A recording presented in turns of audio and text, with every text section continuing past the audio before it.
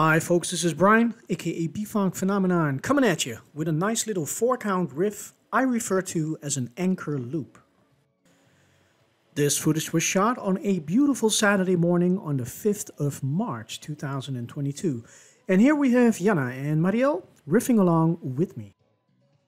So the anchor technique displayed here is a very practical technique. And as I've mentioned before, originally I'm a long-time hardcore street skater and at least 80% of techniques derived from my long-time street skating experiences.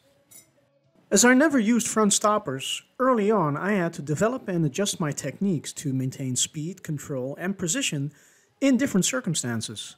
And this anchor technique is a prime example coming from those experiences. So after a little conference call with the ladies here, in which I explained a three-layer exercise, we are about to execute a nice build-up that starts with a 4-count cross step. The second layer is when the jump is added to the sequence on the third count. And finally the third layer is where we actually morph into the traveling part and sometimes squeeze in a 360 turn.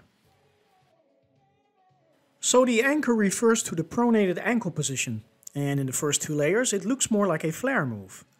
In this case the front inside wheel functions as the anchor point, in the third layer, the functionality of the anchor fully comes into play, as the traveling aspect forces one to take more control and closely monitor position. Otherwise, we would bump into each other or lose control as we curve around. The jump in this second layer is added to prime the trainees for loosening up and detach them more from the surface. And it's an extra reason to focus on the pronated ankle for more control after coming down from the jump. Before gearing up to the third layer, we switch back to the first one, to give ourselves a chance to concentrate and control our breathing, because even something like a little jump does take extra energy. So while we recuperate from that in that first layer, in the meantime we're checking out how much space we have around us, and then we're good to go.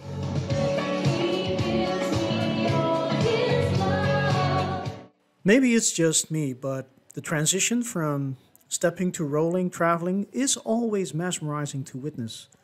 And it feels even better than it looks like.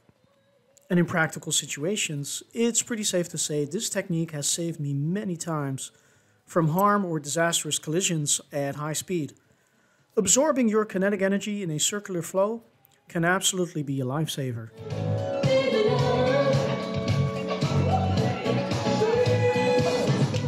To add a 360 turn into the mix, we change the anchor point from the inside front wheel to the inside back wheel. The result of that is maximum control at one particular pivot point.